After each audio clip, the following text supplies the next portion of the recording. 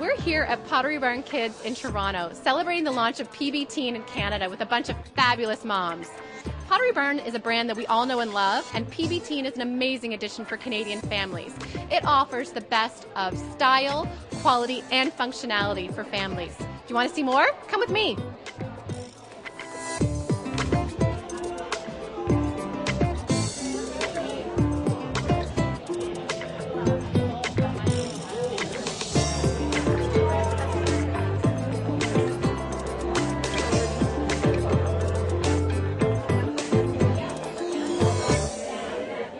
Here now with Lee from PB Teen, and we're just going to find out a little bit more of what makes this brand so special. When I'm looking around, I'm seeing so many amazing colors and patterns. Where do you get your inspiration for the PB Teen line?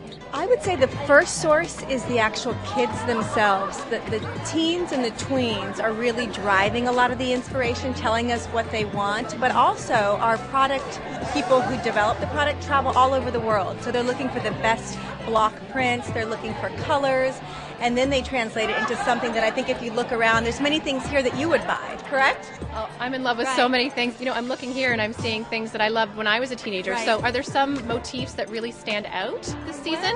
Peace is timeless, and we have found when we put peace on something, it sells like crazy. The polka dots, we've reinvented every season. I would say patterns, prints, quilts, peace signs, and anything fuchsia and purple.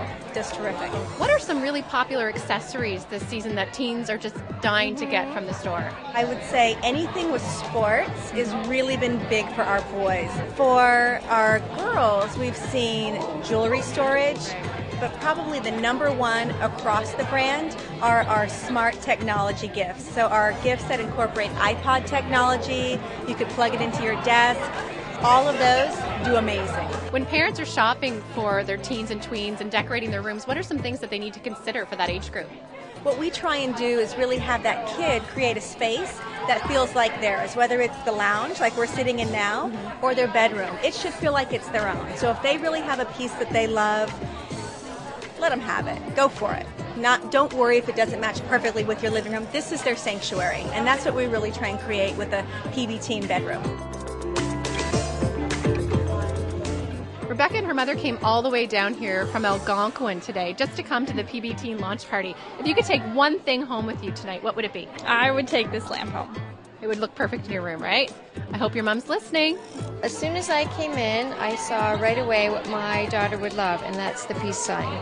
Since she was little, she's been drawing those peace signs and coloring them, and there's something about that the kids love. I love this mohair bean bag. My kids are going to love it. We love these ones because they'll hold our tiaras. I absolutely love this for all the earrings, necklaces, and rings. I know her daughter, who is 11, would die to have this, and I'm sure she'd love not to have such a mess all over the entire dresser. We're just chilling out in the guys section, and we've got someone here with a 16 year old son. So, what would your son love to see in his face? You know what he really loves? He loves the lava lamp.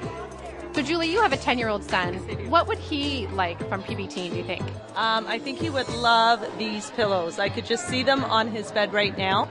It'd go perfect in his room. So, Erica, I see that you spotted a little something special for someone in your house. Actually, it's not my teen, although he acts like one. My husband would love that. How cool is that? They're totally rock and roll. I grew up by the sea. I love the ocean, and I think these would look so cool in my son's room.